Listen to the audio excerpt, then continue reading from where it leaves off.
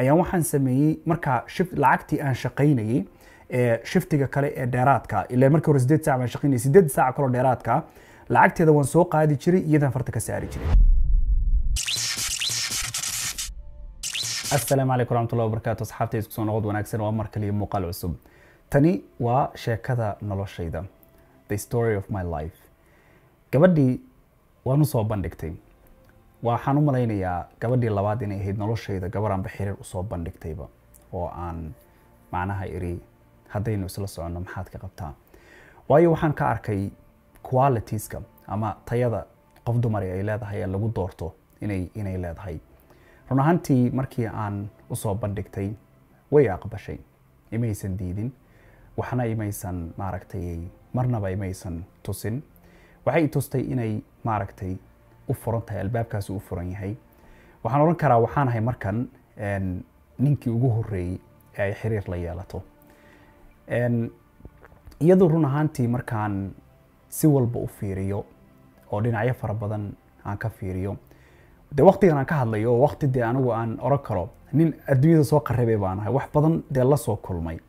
Inkastoo qof bini aadam ah ama maanta gabaraan la socday aysan akhlaaq xumo iyo inaan faraxumeeyey iyo inaan dee waxyaaba fara badan oo maanta bulshada ay ku dhaqmaan aan hubo inaysan iga sheeganaynin oo aan ahaa qof mar walbaba sideedan buu cabsan jirayba soo ma jiraan dadku inay waxyaaba fara badan oo especially nairobi markaad joogtid waxyaaba badan baa albaabadu ku ballaqan yihiin oo iska sahlan oo iska fudud oo dadku ay sameeyaan baa jirta. Waxaan xusuustaa dhalin aan asxaab ahaan jirnay baa waxay oran jireen nin raga adigu matiid baan u malaynayaa. Markaan weydiyo iraado maxaa dhacay? Waxay oran jireen maxaa yeelay dumarka iyo macnaha kama sheekaysid caadadeyda weliga dabeecaddeedu sidan bay ahayd. Inaan qof dumar ah wixiina dhex maray oo maxaan idhahdaa dee qarsoona annaga naga dhexeeya inaan dadka u sheeg sheego oo tusaale ahaan aan ragga soo hor istaago oo idhaahdo maaragtay wiilasha saaxiibadaana intaa u taga idhahdo way i way ii dhimanaysaa way ii ooyeysay. Dee wax kasta oo markaa annaga dareen ahaan iyada wixii markaa hayay dareemayso macnaha ugama sheekeyn jirin cidna mar walbaba waxaan ahaa secretive markay noqoto dhinaca. Waana dabeecad aan run ahaantii qofku waxyaabo isku mahadiyuu leeyahay waxyaabaha nolosheeda ku mahadiyay ka mid tahay. In aanan dee qof dumar ah aanan weligay intaan dad soo hor fadhiistay ama dad soo hor istaagay inaanan caayin ama aanan maaragtay wax qaldan oo gafa aanan ka sheegin. Inta badanna waxaa keeni jiray waxay ahayd ababkayga hore iyo sida laygu soo ababiyey sidaan ku soo koray. De qofku markuu soo jabo nolol adag uu soo maro u qallafsan oo aabba la'aan uu ku soo koro muddo badan oo noloshiisa ka mida hooyo la'aan uu soo arko macnaha ay leedahay. Waxyaabo fara badan oo ximin iyo maaragtay wax badan oo laguu geystay nolosha ama dhaawacyo badan oo laguu geystay ayaa keenaya. In aad ka duwanaatid dadka kale maskax ahaan markay noqoto iyo fakar ahaan markay noqoto inaad bini aadamka kale ka duwanaatid. Waad waad qormaysaa waxaad noqonaysaa qof qof maaragtay qof bini aadam oo dhammaystiran oo wanaag dhammaantii la wada siiyey ma jirto laakiin waxaad noqonaysaa qof waayo araga wax kala garanaya wax fahmaya ayaad noqonaysaa. Marka ababkaygii horey taas horta run ahaantii u noqonaysaa. Gabadha tan marka xiriirkaygii markii uu bilowday oo aanu adoogaada gabadhan odayga dhalay waa odaygii waddada aan ku kala leexanay haddaa xusuusataan. Iyadoo taas ay jirto oon ogahay baan haddana gabadhan xiriir la galay macquulna ay tahay de inaan odaygii ka doonan karo. Markaan xiriir bilaabayo waan ogahay inay macquul noqon karto gabadha tan inay noqonayso gabadhan guursan lahaa noloshayda oo ay possibilitygaas inuu jiro inaan reerkeeda soo hor doono.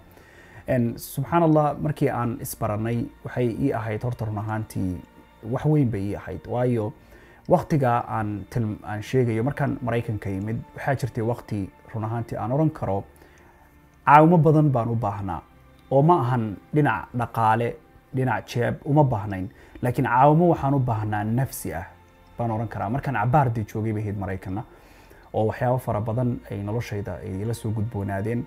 Caawimo nafsi aan u baahnaa oo qof maaragtay ii niyad dhisa waddada i tusa waxaan samee sidan yeel sidan baa ila qurxoon sidan baa ila fiican i yidhaahda waxyaabaha ugu waaweyn ee aan oran karo way ku ammaanayd waxay ahayd gabadha tan ay mar walba oran jirtay marka salaad la gaaro waxay oran jirtay salaaddii baa la joogaa. Baxaan tukane meelaan ku tukana noo raadi. Haddaan dukaan ama moolka iyo wax lamida aanu dhex galno waxay oran jirtay meelaha dharka lagu bedesho oo waxaa jira meelaha dharka la isku la fiiriyo markaad dharka isku jeegaraynayay sidoo kale.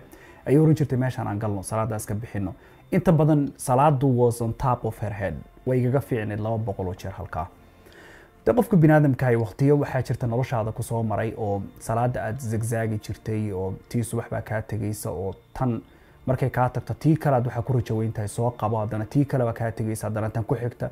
Waxaa laga yaabaa inay maalmo dhan ku soo maraan oo aadan dee maaragtay salaad la'aan kugu dhacdo. Qof taa ka fayowna ma jiro. Waxaa laga yaabaa xataa qof nin caalimo weyn haddii xataa la weydiiyo noloshiisa yaraantiisa inuu ku yidhaahdo waqtigaan dhalinta ahaa marar fara badan bay salaadu iga tegi jirtay oo ahmiyad weyn ilama lahayn. Laakiin falilaahi alxamd waxaan dhihi karaa gabadha tan waxay ahayd qof maaragtay runtii qeyb ahaantaa noloshayda wax weyn ka bedeshay baan dhihi karaa oo saameyn ku yeelatay. Aniguna de intaan la joogo run ahaantii waan tukan jiray oo taasaa kaalmay ii ahayd oo markaan hadhowdii iyada kala faaruqno asbuucii de waxaan is arki jirnay hal mar oo keliya. Meesha dadku maanta dhan is arkaan. Maalintii dhan waxaan wada hadli jirnay laba mar ama hal mar baan wada hadli jirnay. Asbuuciina hal mar uun baan is arki jirnay. Markaasaanu is aragno waxaa laga yaabaa intaan meel makhaayada tagno oo cunto ka cunno inaan iska soo sheekaysano dan kabacdi aanu sidaa maaragtay ku kala faaruqno oo iyadana ay gurigeeda aado ana markaa. Markaan baabuur ma iyadaa baabuur lo baabuur wadata iyadaa inta badan i wadi jirtay oo xaafadayda igu soo dejin jirtay marka dambe.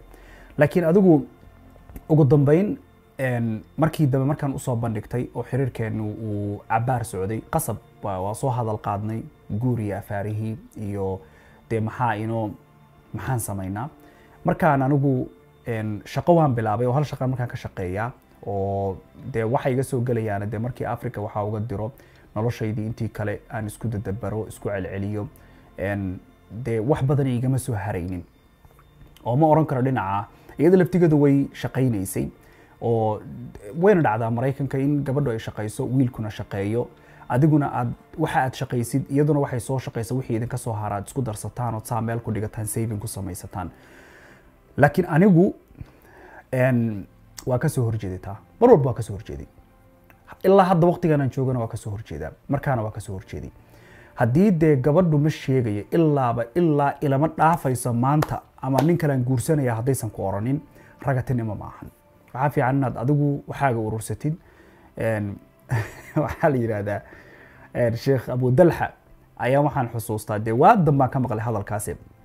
Baa wuxuu yidhi haddii gabari intaad guursatid markaad isguursataan hadday malgacad sidatuu yidhi hal qaado hadday sidato waa laga tuuraa buu yidhi. Mid cusub baa la soo gadaa.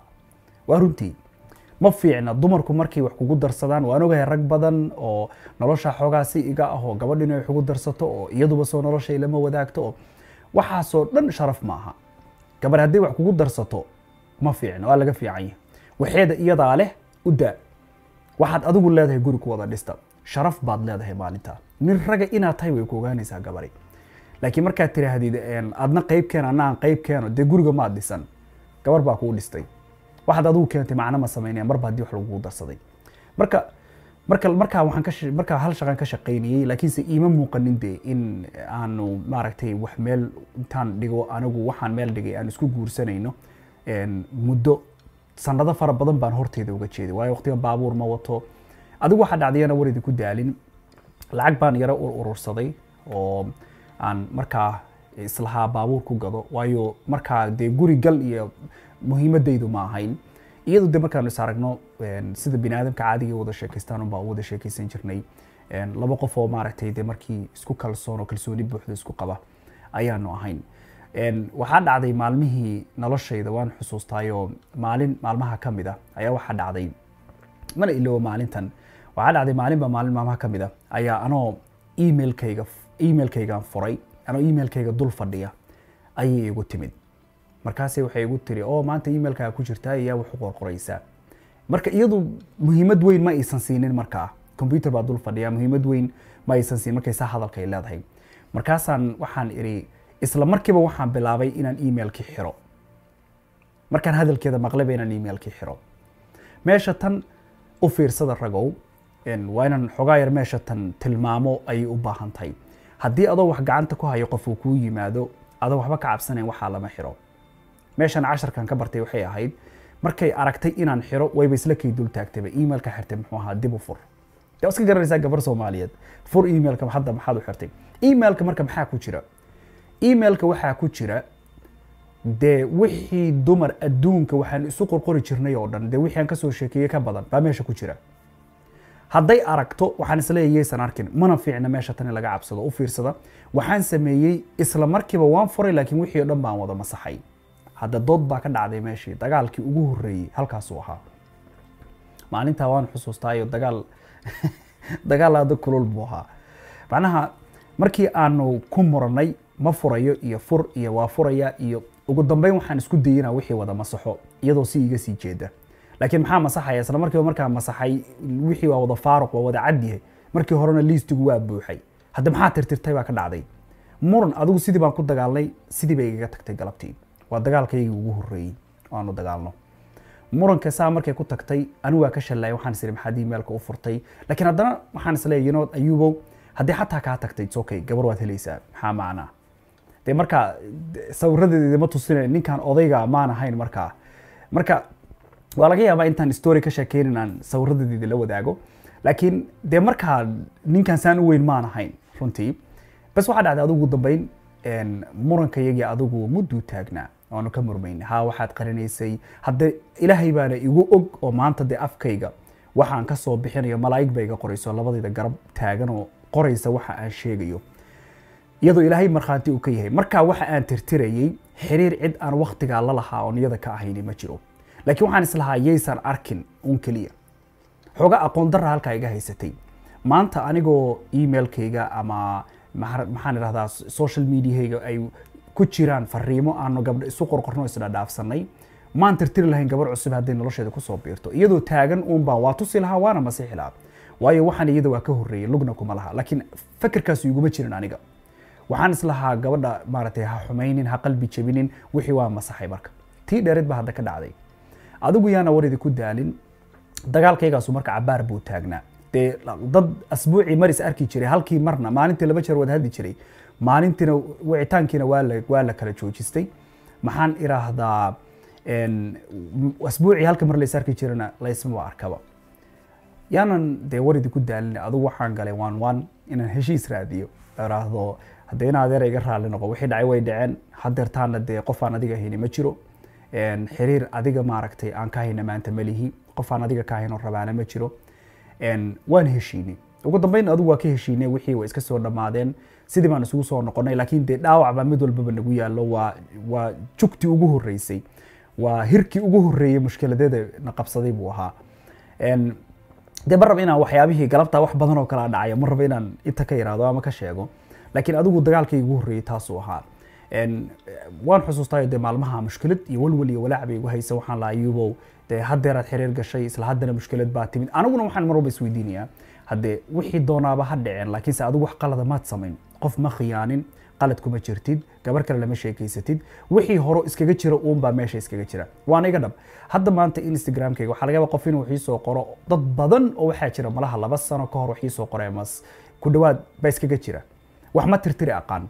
Voice mailka macajalada dadku way dhegeystaan way tirtiraan. Sax anu tirtiro way iskaga jiraan. Dabeecaddeedaba iska sida ahba.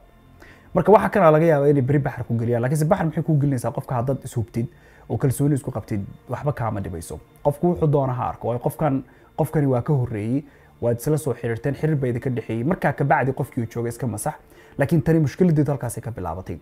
Adigu waxay tiri markii dambe niyo waktigaygaad luminaysaa wakti lumisoon baa tahay hadda wax yar baan wada soconnaa marka ay saas leedahay.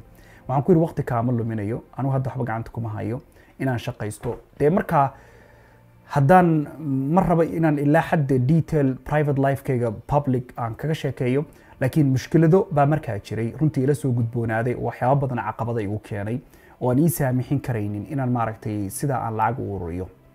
Waxaan bilaabay markaa shaqadii markaa aan ka shaqaynayey ayaa ninkii aan booskii aan hayay ayaa layga bedelay waayo shirkadda waxaa ka soo dhex baxday meel cusub baa soo baxday. Nin waxaa jiray sheeko gooniyay leedahay manager noo ahaa madax noo ahaa oo dhib badnaa baa jiray. Ninkii adigu maalinkii dambe shaqadii baa sisina noqotay isagii waa laga cayriyey mid kaleo isaga ka hooseeyey oo cadaan oo aad u dhib badan baa jiray oo weliba dadka madow necab oo waxaa la oran jiray haddaanan qaldanayn donald baa la oran jiray. Ma rab inaan magaciisa last streamkiisa halkan youtube ka sheego. Ninkan waxaa dhacday markii dambe anoo positionkii marka isagu uu ka soo baxay managerka ka hooseeyey faaruq buu noqday maadaama faaruq noqdo la soo dejiyey waan buuxbuuxsaday markaa hadda waddanka waa ku cusbahay wax yar baan joogaa baan buuxbuuxsaday waxaan idhi nihow booskanaan rabaa intuu saa ii fiiriye waan xasuustaa oo applicationkii iga qaaday wuxuu yidhi anaa ku wici doona iimuu wicin applicationkayga wuu jarjaraa la yidhi dad xafiiska la joogaa ii sheegay wuu jarjaray applicationkayga markiiba qashin ku riday wixii ilahay kuu qora waayi maysid markuu isagu marka shaqadii asbuucyada gudahooda ayaa markii dambe waxaa la yidhi isaga shaqadii ma uusan imaanin. Kabacdina waxaa la yidhi waa laga cayriyey oo waa la xiray oo dhowr iyo labaatan sana lagu xukumay. Maxaa yeelay gabar yar oo ay walaashii dhashay buu fara caddaan buu ahaa. Anaa ibtiluu ahaa cirka laga soo riday kaasu. Kabacdina gabadhaa markuu fara xumeeyey waaba dhowr labaatan sana lagu xukumay. Alxamdulilah booskii corona faaruq buu noqday. Positionkii horaan haddana ku celiyo buuxsaday adigu kaasaa ii soo baxay. Kaa marka ii soo baxay saacadaha laga shaqeeyaa xad maysan lahaan jirin tanaan marka waxaan naf ahaantayda istusay si aan lacag u urursado waa inaan markaa habeen baan shaqeeyaa waxaan shaqayn jiray habeenkii baan shaqo soo galaa. Adigu waxaan habeenkii shaqada soo geli jiray tobanka habeennimo oo meeshii markaa de schedulekii iyo wixii la sameynaya dhan anigaa lai dhiibay oo gacanta ku haya oo dadkii checking garaynaya oo saacadahoodii waxoodii isku dardaraya subax kasta. Markii la ii dhiibay waxaan bilaabay marka inaan shaqeeyo. Habeenkii waxaan soo geli jiray shaqo tobanka habeennimo waxay ahayd schedulekaygu inaan ka baxo toddobada subaxnimo ama toddobada iyo barka subaxnimo. Hadba shaqadu sidii markaa tahay. Marka markii aan markii shaqadu dhammaato shifti kalea soo gelaya oo bilaabanaya. Shiftigaa kale boosas baa ka bannaan oo waxaa laga yaabaa inuu qof soo wacayo wax la mid a boos kasta oo bannaan managerka shiftiga iga dambeeya jooga ayaan la saaxiibay isbaray macnaha waxyaaba badan oo dee aan ku kaalmayn jiray baa jira. Isagiiba waxaan hadduu qof soo waco boos kastoo soo baxa igu buuxi aniga. Haddaan qaban kara dee markaa shaqada oo aysan training waxba u baahnayn. Sidii baa marka waxaan u shaqayn jiray muddo sideed bilood mase sanad ku dhow ayaa waxaan shaqaynaya lix iyo toban saacadood. Habeenkii oo dhanna waa soo shaqee. Markaan shiftigan ka baxo saddexda galabnimaan ka bixi jiray. Saddexda galabnimo markaan ka baxo guriga markaas anigu aan deganaa waxba iima weysan jiray koob iyo toban daqiiqo u jiray shaqada guriga markaan xaafadayda markaan tago isma ma warwareegi jirin isla markaba horaan ka seexan jiray waayo intaan shaqada jiran wax soo cuni jiray oo makhaayadahaas meelaas wax ka soo cuni jiray markaan guriga imaado horaan ka seexan jiray waxaan soo kacaa adigu habeenkii sagaalka fiidnimo markay tahay. Markaas uun baan dharkayga waxayga diyaarsadaa sidii baan haddana aan u baxaa. Laakiin waqtiga kan baabuur baan leeyahay dee sheekada waa ka soo yara booday baabuur baan marka leeyahay. Markaan lacagtii ugu horreysay urursaday oo meel ii taalay baabuurkii ugu horreeyey waxay ahayd qofkii iyadu meesha laga gaday i geysay oo ila soo gaday bay ahayd. Oo dee shuruucdii iyo wixii way iga kala taqaanaa anigu maan kala aqoonin. Marka baabuur baa marka leeyahay ii sahlaya inaan dhaqso u tago ka imaado waan xasuustaa toyota waxay ahayd 1994 ah bay ahayd. Oo markaa lacag yar aan ku helay laakiinse baabuur aad u fiican buu ahaa. Runtii baabuur aad u wanaagsan buu ahaa.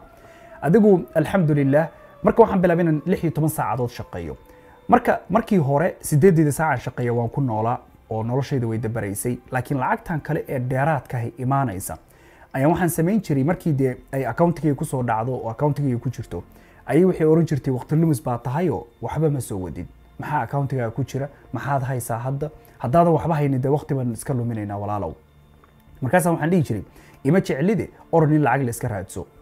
Aniga isla dul taagnaan jirnay maalinkii dambe aan fakeray waxaan ku yidhi fiiri inaan waqti kaa luminayn ilaahay way ogyahay laakiin waxaan is leeyahay amaad waqti yar baa kuu dhimane markaad gaartid aad aad meel wada gashaan eemaad isugtid adigu saan u qanciyo darteed ayaan waxaan sameeyey markaa lacagtii aan shaqaynayey ee shiftiga kale ee dheeraadka ilaa markii hore sideed saac baan shaqaynayay sideed saac kaloo dheeraadka lacagteeda waan soo qaadi jiray iyadaan farta ka saari jiray waxaa oran jiray soo shakigama qabtid haa lacagtaa heerka adigu aad isleedahay waa ku gurigeli karnaa oo aroos waa ku dhigan karnaa heerkaa markay gaarto adigu ila socodsii anigu waan kuu keeni aday kuu taallaa. Haddii aad lacagtaa la carartid ood cuntid ood meel kale kala baxdidna dee ilaahay baan kugu dayay ilaahay baa kaas maaragtay kaa kaa gudayo kaa jaasaynaya kumana maaragtay liibaanaysid meel kuma gaaraysid. Dabcan intaynu video kale dib ugu kulmayno halkan ayaan ku joojinaya. Wasalaamu calaykum waraxmatullahi tacaala Thank